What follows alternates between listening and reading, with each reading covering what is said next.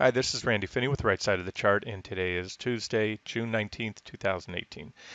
Um, this will be a, a, brief, relatively brief update uh, to the broad markets. Uh, waited till we uh, opened for trading today. Wanted to see how things settled out the first half hour of trading.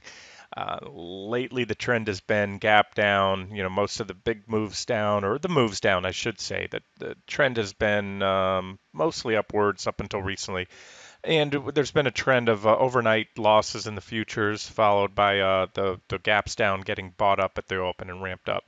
Uh, today, so far, a little bit different. We started to see that pop early morning, and uh, and they faded it, and we're back down close to uh, where we opened down at the lows. So let's just dive into the charts.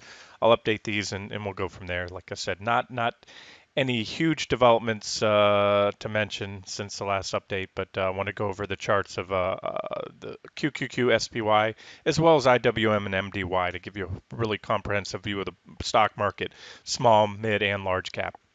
All right, so we're going to start here with the futures. I'm on this chart, NQ.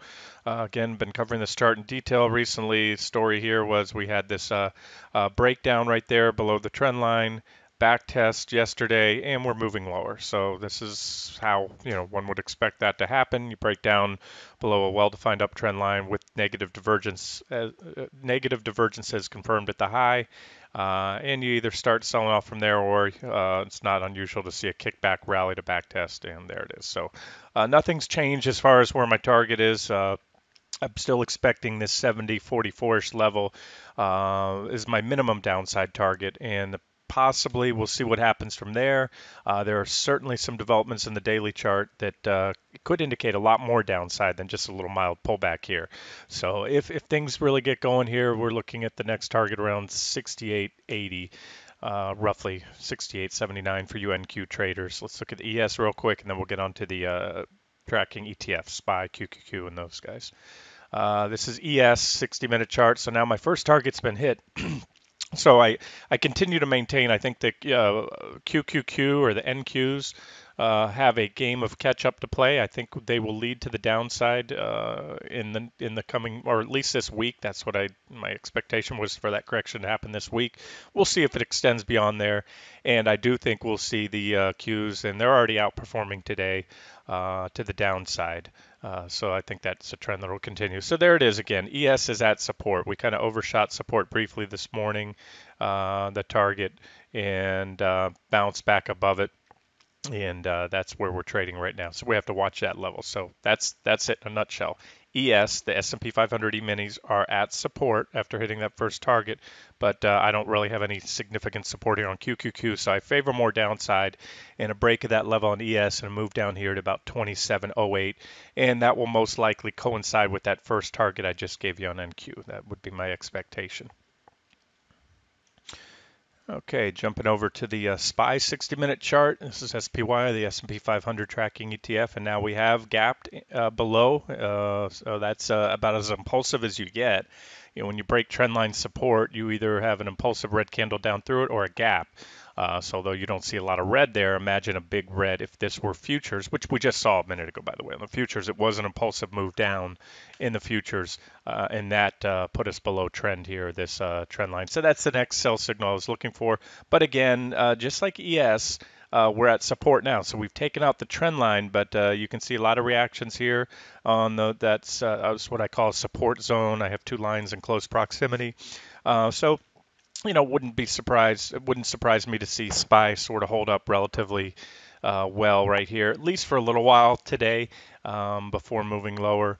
And um, you can see there that the uh, PPO uh, looked like it was poised to make a bullish cross. This is uh, this is bear fodder right here for you. Uh, when you see these bullish crossovers, uh, a lot of people use these, and they do typically work as good buy and sell signals. But um, uh, sometimes when the lines attempt to cross, meaning the PPO line crossing down above or below the signal line, the 9 EMA, you get a rejection. In other words, that signal line can sometimes act as support. So, uh, you know, this was a buy signal there, a bullish crossover. Uh, and then we had a failed bearish crossover, the lines bounced, and uh, here we had a failed bullish crossover. So just something to note right there. And uh, that's why I don't think this dip is worth buying at this point in time. I think there's more downside to come. Um, we'll just have to see if that trend line gets retaken. Uh, you know, that would give a little little concern for pause, a little pause for concern right there. But also, um, remember we took out this 277.92 level uh, yesterday and, uh, uh, and that actually is a pretty significant uh, resistance right now on SPY. So if we happen to get above here, you have a couple levels to watch. Number one is the gap. This is yesterday's close, this green candle right there. So if I put a horizontal line here about 20, 276.19, 276.20, somewhere around there, uh, that's gap resistance. So that's resistance number one. And then of course this is a big gap as well here. Um, um, actually, the top of the gap is right there, but that's where I had that line drawn. So those those are levels to watch on a kickback rally on SPY if you're a SPY trader. But again, I think there's more more meat on the bone if you're uh, looking to short, and and I would not be buying a dip right here in QQQ, at least not yet. Anything's possible. I'll always say that, but uh, we've taken out. This is playing out so far so well. Breakdown number one below this rising wedge pattern right here. Uh, we we went down yesterday, as I said, kissed that trend line, the uptrend line, the, what I call the primary uptrend line on the 60-minute uh, chart, and then gap down below it today. And we ran back. We had that little pop in the morning. Here, let me show it to you here. Uh, this is a one-minute chart so this is this has been the trend. This is what I was talking about recently. Uh, a lot of days I've seen this recently, where we gap down overnight uh, from an overnight move down in the futures, and they buy it up. Um, that's been the trend as of late. Now today I'm seeing a change of character. They started to the dip buyers. You know, it's like Pavlov's dogs. They're going to come in their condition to buy the dip. Uh, they bought it here, but now something's different. They're saying uh, this is what we call a rut row moment uh, for you Scooby Doo fans, um, where they bought the dip, but now they're back underwater. We've actually undercut this morning's lows, so that's a little bit different. Let's see what happens. I know this is only one minute chart, and uh, uh, but again, this is you have to think like this for the day traders, whether it's uh, individual people, whether it's the computer algos that stepped in to bought the dip like they've been uh, been buying recently. Uh, this is something a little bit different here. So we go much lower, they're going to have to stop out. And that will also embolden the shorts. But again, more so, I'm focused on the longer term charts. I'm just showing you a little bit of change of character so far. And again, early in the day, you know, try, try not to read too much into, you know, what happens over a 30 minute period.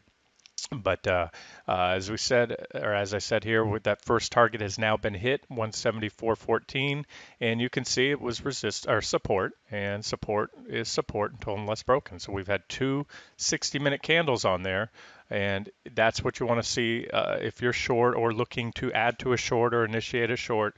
You want to see 174.14 go with conviction. What I mean by conviction, well, not just an intraday or intra-candle pierce. You see, we went slightly below it there.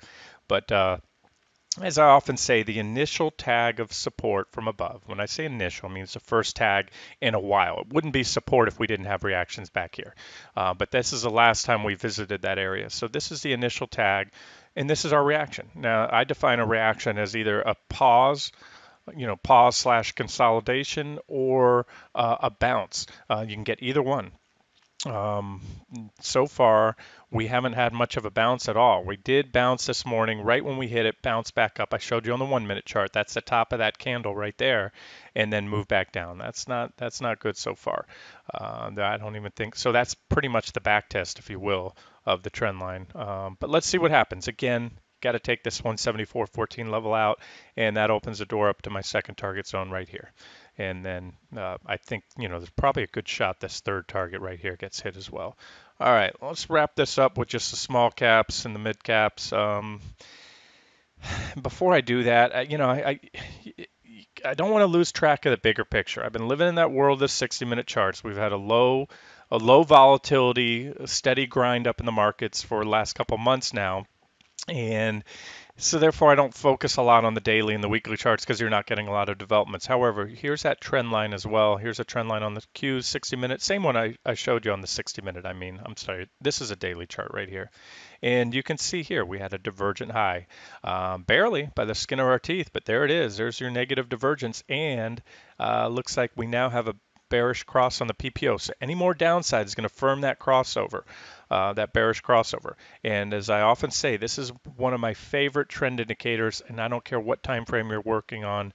It works well on a 60 minute, works well on the daily time frame here. And I'm talking about bullish and bearish crossovers on the PPO. Um, those are one of my favorites. Also, whether the PPO is above or below zero. And right now, the PPO signal line is well above the zero line. But let's look at these crossovers. That's what the little arrows I have here. So we had a bearish crossover here. We had this big drop uh, in February. We had a bearish crossover right here. And you can see we had that big drop. And uh, as you can see, we had a bullish crossover right there and the PPO line has remained above the signal line since then, telling you the trend was, uh, at least by that indicator, um, that the trend was bullish. But right now, uh, again, like to see a little more downside to firm that up. I think we're going to get it.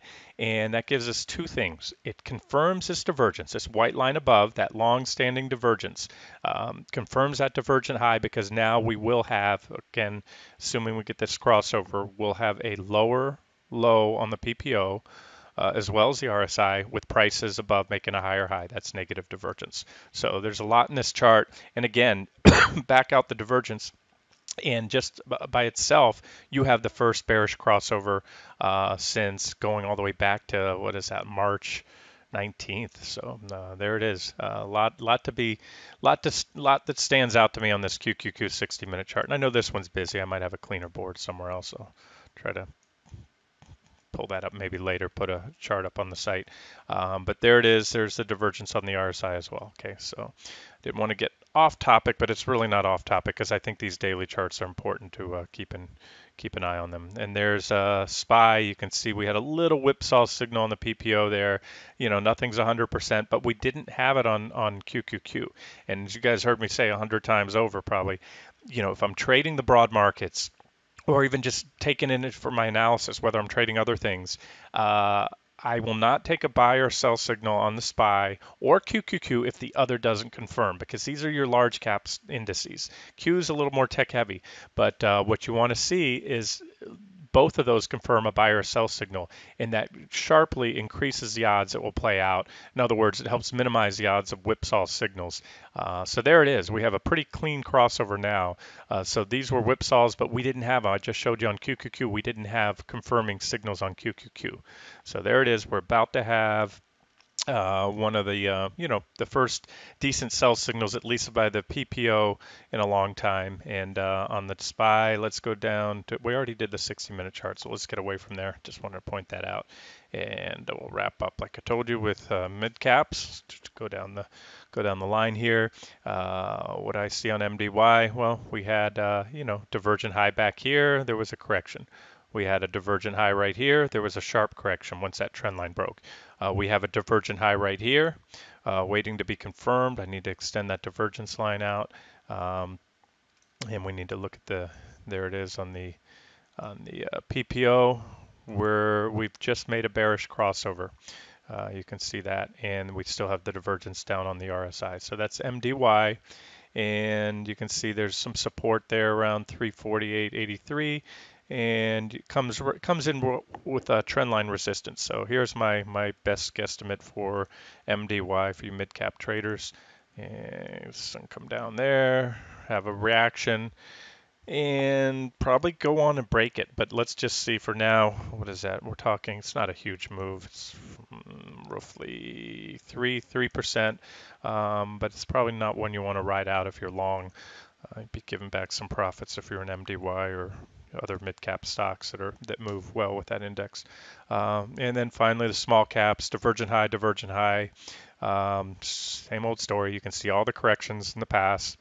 Divergent high correction, divergent high correction, divergent high correction, divergent high correction. I mean, just watch, rinse, repeat stuff. Uh, there it is, uptrend line. Uptrend line's broken. Not seeing impulsive selling yet. Now, my guess is uh, that uh, this one plays a game of catch up. I think we'll see uh, IWM catch up to the downside. It's gotten way ahead of itself. Small caps are pretty volatile compared to large caps normally. Uh, they tend to go up more when they ra- rally and they tend to fall more when they correct. So uh, be extremely unusual to see MDY that I just showed you about a 3% drop, uh, QQQ, whatever that percentage was, to see those play out and not see the small caps come down. So I'll just tell you real quick. There's my target right there. You can see trend line support. This chart's similar to MDY. Uh, 160.19ish, we have intersecting horizontal support and trendline support. So that's it. If you want to swing trade the small caps or maybe juice it up with some TZA or um, uh, small cap futures, whatever you want to trade, uh, there's a drop of about well about four percent because the small caps really got ahead of themselves. So uh, again, not playing out for an impulsive reversal yet, but if we really zoom in there, let's look at this one on a 60-minute chart. Here it is. Here's some, some trend lines to watch. Let me move this down a little bit. There's what we need to watch right here. This seems to be uh, containing the recent uh, move up, uh, so that would be the level to watch. And if that breaks, you can see probably come down here, hit support, and then move on down here. And this this level is at 158.34. All right, let's wrap it up here. It's a 15 minute video. And remember, you guys, when you watch these videos, hit the uh, go to the settings. You can increase the playback speed if you want. And as always, if you like the video, please give it a thumbs up on YouTube. Best of luck on your trades.